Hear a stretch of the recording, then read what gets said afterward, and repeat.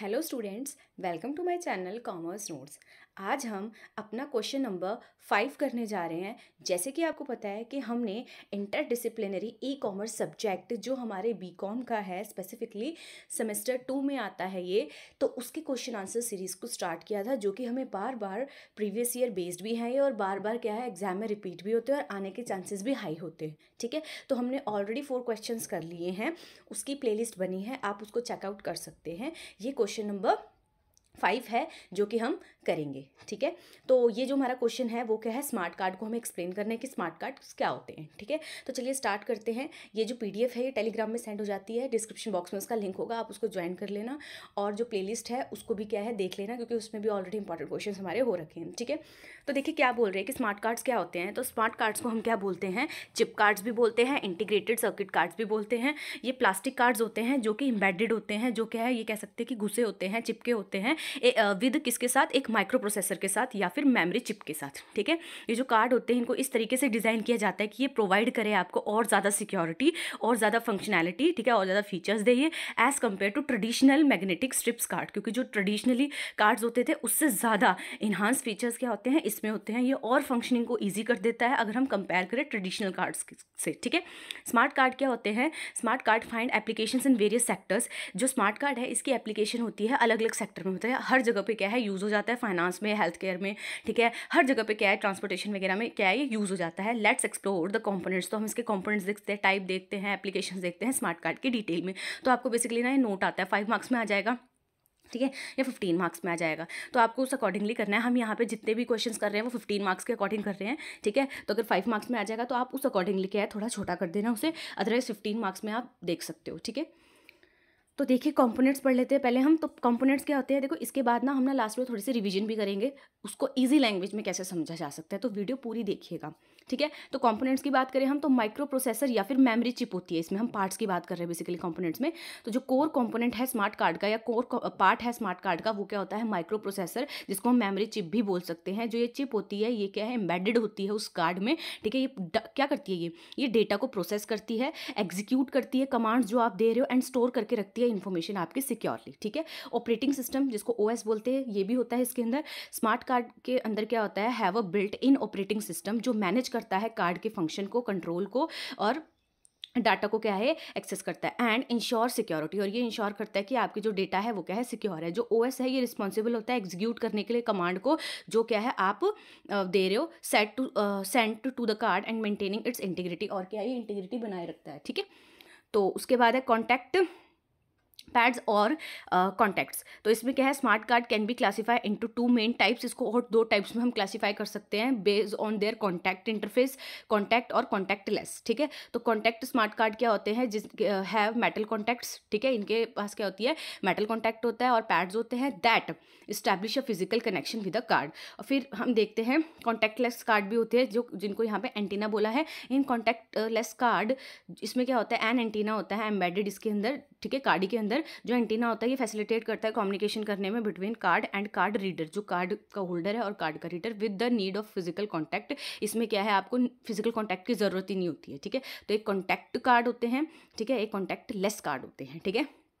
फिर है secure element secure element में क्या है? जो secure element is dedicated area ये एक ऐसा एरिया होता है within smart card chip जो स्टोर करता है आपकी सेंसिटिव इन्फॉर्मेशन को, ठीक है? देन होता है मेमरी स्टोरेज मेमरी स्टोरेज में क्या है? Smart card have a memory storage also ठीक है? उसके पास मेमरी स्टोरेज होता है जो क्या है? Can be use to store data जिसको, जो मतलब आप यूज़ कर सकते हो अपने डेटा को स्टोर करने के लिए, जैसे कि सच एज यूज़र इन्फॉर्मेशन आपकी इन्फॉर्मेशन क्या आपने क्या ट्रांजेक्शन हिस्ट्री है आपकी, ठीक है? एप्लीकेशन स्पेसिफिक डेटा है, वो सारा का सारा मेमरी स्टोरेज में क्या स्टोर होता है, ठीक है? तो ये था हमारा पूरा का पूरा क्या एप्लीकेशन वगैरह। अब ना हम ना थोड़ा सा एक बार इसको बेसिक सा रिवाइज कर लेते हैं कि स्मार्ट कार्ड क्या है इजी लैंग्वेज में स्मार्ट कार्ड एक special kind of credit card ही है, ठीक है? बट इसमें ज़्यादा फीचर्स है तो इसको और ज़्यादा स्मार्टर बोला गया है, ठीक है? इसके अंदर कंप्यूटर चिप होती है टाइनी सी, छोटी सी जो इसके अंदर लगी होती है, जो कि कैपेबल होती है आपको और ज़्यादा फीचर्स देने के लिए। की पार्ट क्या था? इसके ब्रेन माइक्रो प्रोसेसर को ब्रेन बोलते हैं ठीक है? मेमरी को स्टोरेज बोलते हैं और कॉन्टैक्ट कॉन्टैक्ट और कॉन्टैक्टलेस कार्ड होते हैं, ठीक है? और सिक्योर एलिमेंट क्या है? जो आपकी इन्फॉर्मेशन को सिक्योर करके रखता है, ठीक है? तो हमने यही पढ़े, ये और क्या है? थोड़ी सी ईजी लैंग्वेज में और लिखा हुआ है, ठीक है?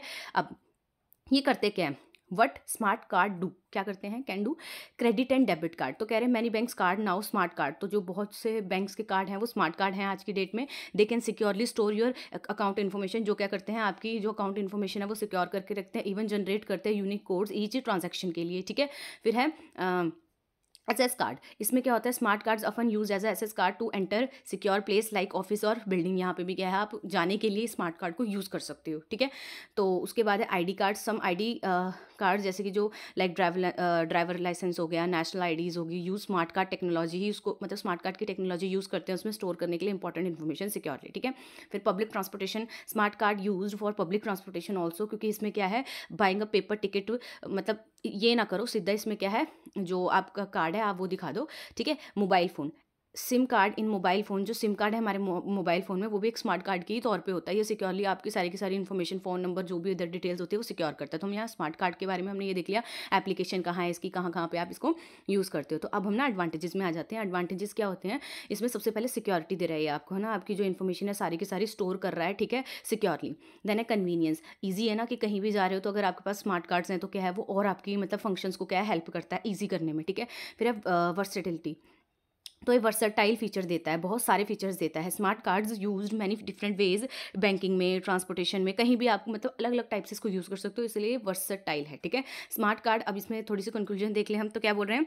Smart card are like little computer in your pocket ये छोटा सा कंप्यूटर ही है, जैसे कि आपके आपके मतलब ये कह सकते हैं पॉकेट में घूम रहा है, ठीक है? इसमें ट्रांजेक्शन कर सकते हो आप इससे, ठीक है? प्लेस में एक्सेस कर सकते हो, ठीक है? सिक्योर और कन्वीनियंट तरीके से क्या ट्रांजेक्शन कर सकते हो। Then types of smart card की बात करें तो कॉन्टैक्ट स्मार्ट कार्ड हमने पढ़े थे, जो ये कार्ड इसमें क्या होता है फ़िज़िकल कॉन्टैक्ट होता है कार्ड रीडर के बीच कार्ड रीडर के साथ सॉरी इस्टेब्लिश करता है जो कनेक्शन हमारा, ठीक है? जो इसमें रीडर है, वो क्या करता है? सेंड करता है electric signal through the metal contacts allowing communication between the card ठीक है? Then contactless smart card क्या होते हैं? जिसमें क्या है?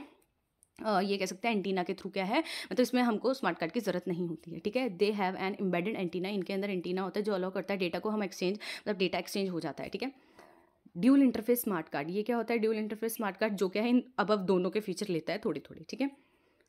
फिर एप्लीकेशन देख ले, क्योंकि एप्लीकेशन भी आती है आपको, ठीक है? तो एप्लीकेशन में क्या है फाइनल फाइनेंशियल ट्रांजैक्शन में इसको यूज़ कर सकते हैं हम आइडेंटिफिकेशन एंड एक्सेस कंट्रोल में हम इसको यूज़ कर सकते हैं हेल्थ केयर सेक्टर में यूज़ कर सकते हैं तो हमने ऊपर थोड़ा पढ़ा भी था, यहाँ पर थोड़ा डिटेल में पढ़ लेते हैं फाइनेंशियल ट्रांजेक्शन में कैसे यूज़ करते हैं फाइनेंशियल सेक्टर में जैसे कि क्रेडिट कार्ड डेबिट कार्ड वो स्मार्ट कार्ड ही होते हैं हमारे, ठीक है? आइडेंटिफिकेशन वगैरह अगर किसी प्लेस में जाना है तो आपकी सारी की सारी इन्फॉर्मेशन स्टोर है कार्ड को स्वाइप करो तो सब पता लग जाता है उन्हें कि हाँ ऑथेंटिक वगैरह सब ऑथेंटिसिटी वगैरह। देन हेल्थ केयर सेक्टर में क्या है?